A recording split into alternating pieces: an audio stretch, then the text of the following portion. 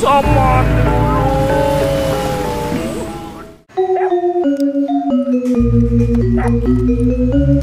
Nakautik ko na ako.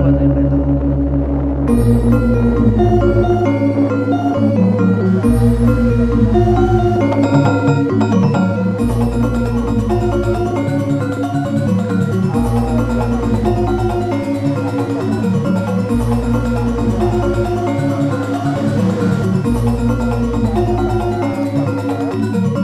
yun? Thank